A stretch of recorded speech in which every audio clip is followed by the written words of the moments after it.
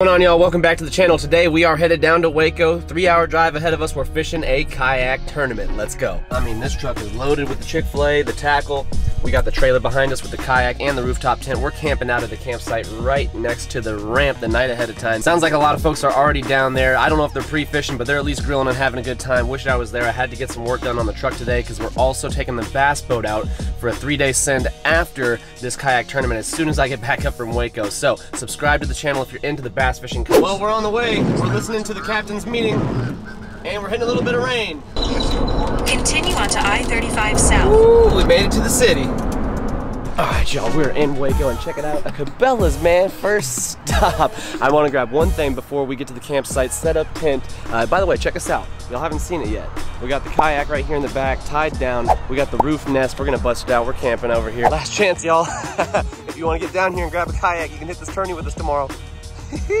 All right, we kind of got what we came here for. I'm stoked we stopped at Cabela's as the first pit stop in Waco. Didn't even know there was one right here. Let's get to the campground, man. We got a tent to set up. Woo, first glimpse at Lake Waco. It has got me excited. This is packed. Where's my lot? I think I got the last one available too. Like literally, this place is full. Nobody told me the boys were gonna be out here. Check them out, y'all. We got, I mean, I'm family of 10. Let's go. Look at this weather. Literally the last campground in the place. I am the only tent. Everyone is in RVs. This is funny.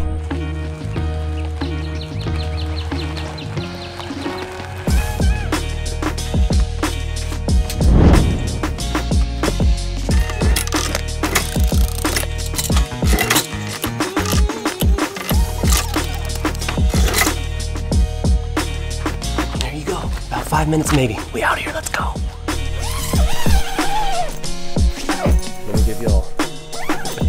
Property. Picnic table, fire pit, grill. Haven't met the neighbors yet. Nice boat though. The tree, the power supply. So we booked a spot with power. I think it's got water too. Oh yeah, 28 bucks to get this lot. Five stars, would recommend campsite 15 over here at Speegleville Park. We are right next to the ramp, y'all. We're gonna go ahead and maybe rig up a couple things, but we're getting ready for tomorrow. So I'm gonna try and get some sleep, wake up at roughly 5, 5.30, and we are gonna get this thing started. Look who joined us on the campsite. What's going on? Can y'all even see him? Look, I mean, oh, look at the little Bambi over there. Wow. Do y'all think I have something? The wind's picked up and I'm starting to see some lightning, so I'm making the last minute decision to put the rain cover on. So it just folds up and normally stays up top. That way you can have it a little bit more open. You want to talk about spacious? It's got it. This strobe strip comes installed with the tent. You just plug a USB into it and I can adjust it. I can turn it all the way down, you can dim it, you can even turn it all the way off.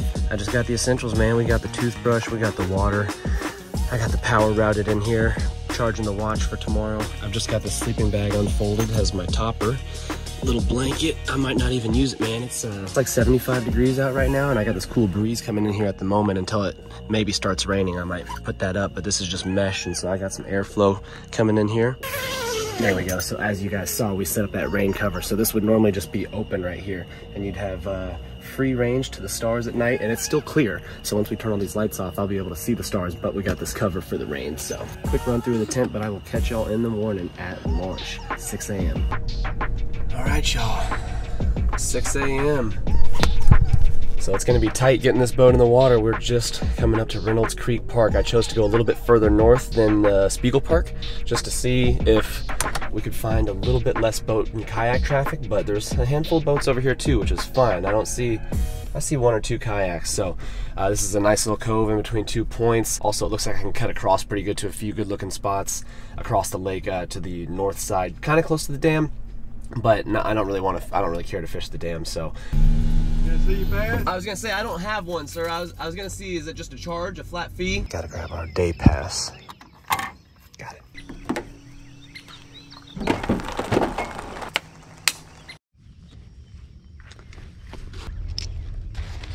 All right, y'all, let's see what we can put together out here. Slightly later start than the last tourney, which was my first ever. We're still getting used to these things. It's 6.30 right now, so I could literally be casting if I was in the water. But luckily, we're launching much closer to what looks good right off the bat, so we don't have to really travel far.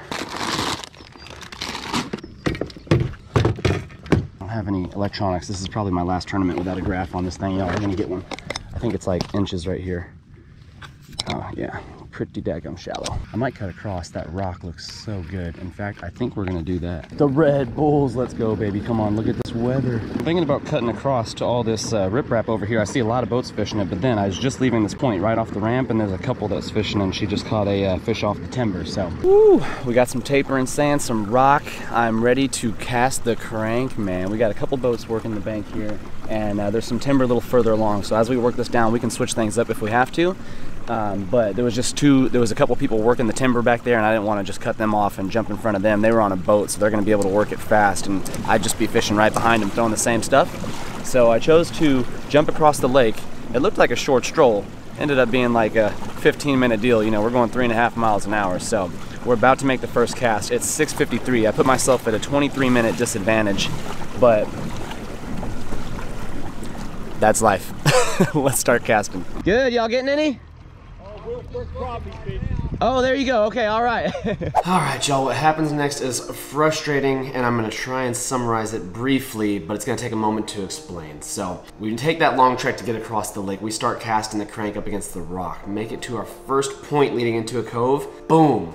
Big fish hits on the crankbait. I'm just cranking it. Comes up out of the water, looks to be between three and five pounds. He's a ways away at this point. Like I bombed that cast, okay? We get him close to the boat, he ducks, he goes straight under, he's pulling us down, I loosen the drag, and we're fighting this thing for almost 45 seconds. There's no timber below us, it's just rock, it's perfect, wide open, and then boom, no weight on the hook would see this footage, but this is why I'm on the camera. The clip got deleted and like the five minutes leading up to it. Live and learn. In the next kayak tournament, I have two GoPros rolling the whole day. We don't miss anything, but this is kind of a part of being a fishing YouTuber. Sometimes you lose uh, valuable footage. But anyways, we did not land the fish. We did not get the footage. Let's get back to the video.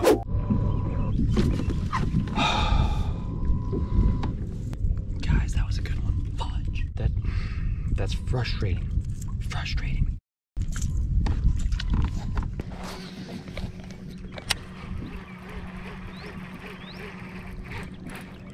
There we go. There we go. Fish number two. Fish number two. Tighten the drag. Come on. Wow, come on. We lose a three to four pounder and we get one that's not even gonna cut 12 inches. Oh boy, it's one of them mornings. Okay, I got excited there for a second. That was probably eight incher. Oh, well, that's two fish. None that count on the board.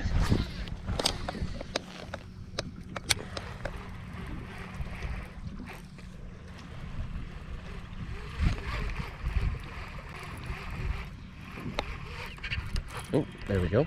There we go. Another good one. Come on. Come on. Here we go. That's what we need. Spot lock. I don't know if this is a bass the way it's shaking its head.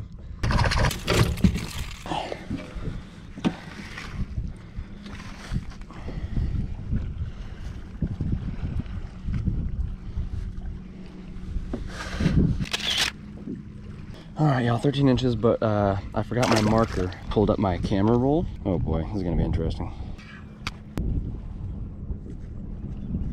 All right, first scoreable fish, 13 inches. That's not gonna get us too far, but this might. What is this? Come on. That's a tree pounder. Hold on, I don't want this one to come off too like that big one. That would be devastating. There we go. Get that quick release, y'all. Practice catch and release, especially with the big ones. Oh, oh, got him, got him, got him. Come on, Largy. Come on, Largy. Let's go, let's go, let's go, let's go, let's go, let's go. A little bit bigger. Spot lock. Come on. Be like 14 or 15 inches at least. Come on, we need you for points. I think it's gonna go 14 or something. Come here. Come here. Come here. All right, all right, all right. Come on, bud. Quit playing games. All right, let's see what we got. That's a 13.75 right there. Nope, nope, nope, nope, nope, nope. Well, okay, well, we got the measurement. Oh, wow, I didn't even see that side of him. Oh, dude, I'm sorry. I would have let you go ASAP. That crank got him good, y'all. Okay, seven fish. Let's go. He was up on the bank, boy. He was like right there on the bank. I could have caught him with a frog.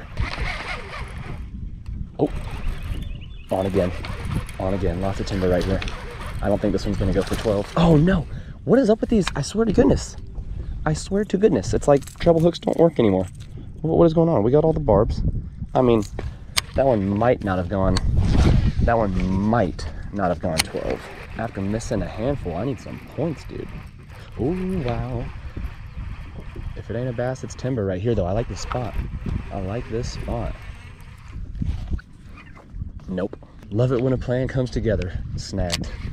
One thing with crankbaits is you don't want to drive the hook further into these trees and stuff, so you just give it some slack. Sometimes it'll float to the surface. Yep, there we go. One more cast since I'm over here, and then we're gonna work our way back in that cove. I haven't thrown this guy in a long time. It's a Yo-Zuri, like one knocker, good just walking stick bait here. By the way, that's a two to five foot diver. Sexy shad, basically. Googan Squad banger that I've been catching them on today. We're just gonna switch it up for a minute. We're gonna put this down. If we see some top, if we see any blowups, I'll just cast this right to it on the fly.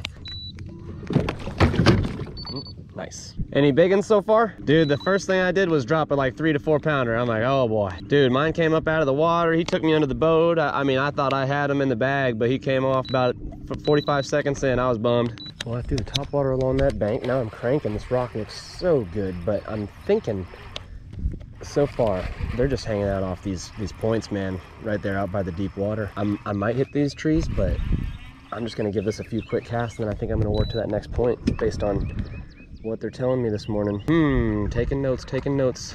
If I was smart, I'd probably just go straight to that next point, but look at how far down the water is right now. I think the lake, it said like minus five feet maybe on like the Texas Parks and Wildlife when I was scoping out the fishing report. All right, this spot is not convincing me to stay. Let's go ahead and do an eight o'clock update real fast. Let me refresh this leaderboard. I'm sure people have already got their limit, man. The fish are biting, so we were definitely unlucky with that big one. Don't make me waste too much time doing this. I got good point to fish here. I'll try and do like an hourly update. Oh no, connection to server failed. Come on. Might be tough to even log catches then. That means some people probably have caught some fish that haven't even been able to log them if the connection's no good. All right, y'all, I'm backtracking a little bit, and as I do that, I am retying, doing another uni knot here, just making sure my line stays good. It felt a little frayed, so we're gonna hit some more of these points, and uh, there's more rock this direction than behind me. There's a couple other boats in front of me too I didn't want to cut off, so I'm just working my way back and gonna fish further the direction I started from. So let's go. Oh, look at them go wild out there. Holy smokes. White bass are going crazy. Oh, fish on. He ain't gonna measure. Oh gosh, first bite we've had in a minute, but that's not what we need. There you go, bud. How y'all doing? Man, I've caught maybe four, but uh, only one sizable one, so nothing crazy. Good luck, man. Y'all found him now? Crappie biting? Right through the hole, yes sir, on this one. There you go, don't tell me that's a big bass. I need that one. Got the guys over here, the gentlemen, hitting the crappie, boys. Oh no, I got snagged on somebody's fishing line. Come on. Oh, nice. The whole setup we just lost. You've got to be kidding. Oh, frick. Let's drop the old bandito bug down in there then. Same here. I had it first one of the morning, man. Same here. You know how it goes. Hey, same to you. There we go. Yep, somebody's already got five plus an extra for almost 80 inches. Second point's at about 47 inches. Where are we at? I don't even see our name. We are, oh, maybe our catch isn't verified yet. Justin is getting on them, boys. 80 inches already right here to start the morning at 8.39. The leaderboard just updated. Wishing I had that big one now. That could have been 20 inches, and then you're talking about 13 plus the 12 or whatever it was. So we'd be we'd be doing all right, but 41 fish logged. If you average it out with the anglers, you know, everyone's caught like 1.3 to like 1.5 fish. So we're not looking too bad with our two so far.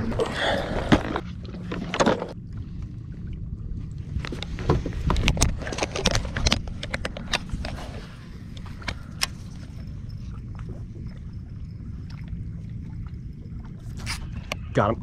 There we go. Just switched it up to the micro swim bait. Please be a bass. we could really use a bass right now. Please be 12 inches too. Oh, I don't think it's gonna cut it, boys. I don't think it's gonna cut it. But if we can get some numbers, that's all right. What is that, eight inches? Oh boy. I got two so far, so two scoreable. So how about y'all? All right, rock and roll. Good luck, man. One hour later.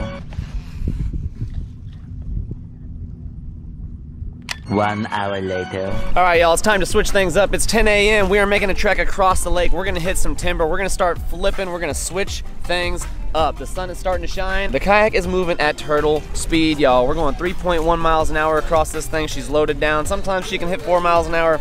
Not today. I mean, I'm sitting halfway down the pack, but uh, could easily just keep losing places if I don't start getting the bites. So, see if we can find these fish over here. Just caught one, pretty sure that was off camera. He didn't measure, he was 10 inches, but we're up to about seven fish. That was as soon as we made the move. Uh, I was gonna flip these trees. Turns out they're in friggin' a foot of water. Oh. Yeah, everything I was just fishing, it says it was eight feet, but you gotta remember this thing is like five feet down, so yeah, about three feet. Some deeper water over here though, this timber up coming up next. I'm gonna try and flip some trees because it's getting to the point where they've slowed down on the crankbait. Didn't make it down, so he just went somewhere local. Oh, there we go. My first fish in a while. Oh, he just came off. Oh, he just came off. That was probably, that one was good enough for points. Gosh dang it. Yep, I'm cranking the trees now though. The fish have been dodging us. I'm gonna switch out the battery in the old town. I run a 50 amp hour battery. Most guys are running 100 amp hours. And so last tournament, this thing died on me halfway through the day. So today I brought two, but I left one in the truck just to save weight. So I'm about to go grab it now that I've made my way back to the ramp.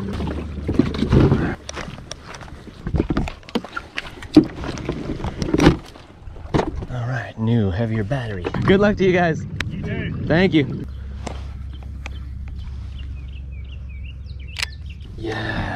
Yes, yes, yes. At least there's something. Golly, the first bit of trees I find with a little bit of depth. All right, we're gonna find one here. We're, we're still in this, you know what I mean? We've got two fish. You, well, if I start to find a couple on these trees, it could be lights out. You can make a comeback very quick if you find where they're at. And I've seen almost everybody, it, it, it looks to me, just fishing shallow, right? Um, so a graph is absolutely mandatory because if there's a nice drop off and maybe there's some fish holding on it, I just don't even know I'm going over it. You know what I mean? I'm just kind of cruising along the rock. Who knows what I'm seeing under underwater? Electronics are coming to these tournament videos very soon. By the way, there's another tournament coming up maybe next month, uh, and I'm probably gonna look for more, but for sure there's like another one next month. You guys have been digging these videos based on well, uh, video based on my first one I just posted recently, and uh, so I, I definitely want to keep cranking these out. It's a lot of fun.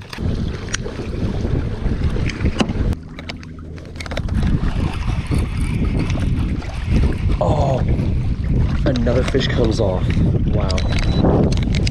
It is 123. That was my first fish in a while. I've said that on like my last two fish on the hook as well.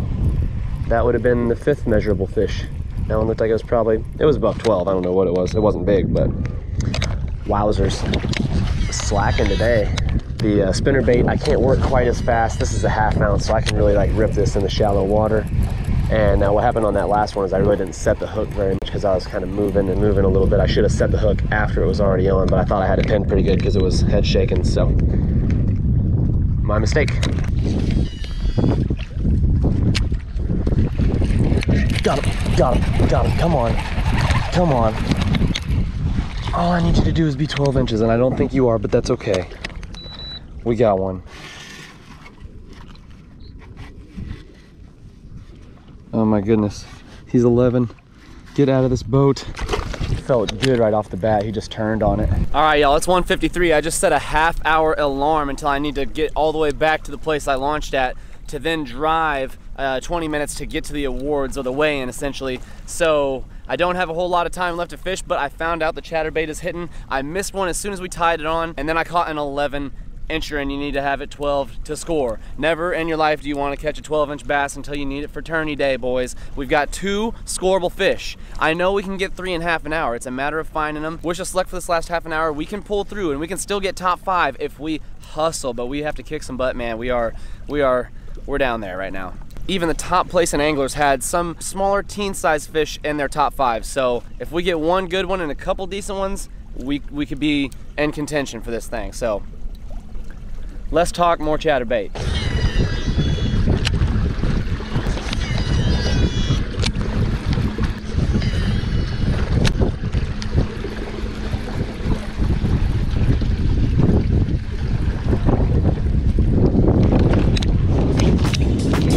There we got.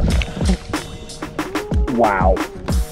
Wow, folks, Lake Waco. That was the last fish, by the way. the last bite. Oh, wow. We went back into the awards And uh, Terry, shout out to the winner right here. It took uh, almost 90 inches to win this thing. So solid bag. And from sixth place down, it had under 80 inches. So the top five or six folks had about 80 inches. Man, you saw fish came off on us, right? We should have at least had 60 inches, but we're down there in the bottom half of the pack with only landing two scoreable fish over 12 inches, and, that, and that's fine. I didn't have high expectations going into this tournament, driving all the way down south fishing a lake we had never fished. I'm honestly the most upset about missing that footage of the biggest catch or would would have been catch. It was just it was epic. But do look forward to the next kayak tournament on Lake Worth because that one total 180. We cash a check it's sick, man. Third kayak tournament ever. Still no graphs. We gotta get those. Y'all loved the first video. Please let me know what you think after we've ran two of these kayak tournament vids. Do you want to see more? I might even hit some bank tournaments, more accessible to more of our following, right? Anyone can hit the bank. I've also got some footage of my first ever tournament on a bass boat. It's unreleased. Yes. Fish on. Fish on third cast. And uh, yeah, so we have that in the works. Should we unleash the bass boat tournament footage? Or do you hate the tournament videos? What do you want to see more of? Just please let us know down in the comments if you've ma even made it this far into the video. but overall, just so thrilled with how much we're learning doing these tournaments, and you, you get to chop it up with the whole gang afterwards. I mean, you're, you're talking to 30 other anglers that were out there catching fish on baits that weren't working for you, and vice versa. I mean, I threw the whole tackle box out there, by the way. Like, I didn't want to make this a 45 minute video of just giving tips on every bait I'm throwing and not catching fish on, but I threw the swim baits, big and small, underspins, just straight up by itself. I threw the top waters, different top waters we tied on, and just went back to that Yo-Zuri one knocker. I threw the, uh, what did I, I broke out the drop shot. I mean, I was fishing it off of some main points where those fish should have been holding, to be honest, for me. There was a phenomenal bite in the morning and great opportunity. We just kind of fumbled the bag there, and then, of course, when we started to slow it down, those bites were just few and far between, and what we did land was not the size we needed. I don't need to recap this, y'all just watch the video. Anyways, y'all subscribe for more content. Lake Waco in the books, boys. Get psyched for the next one. We got a whole lot of diversified content headed your way, so we'll catch y'all then. Peace.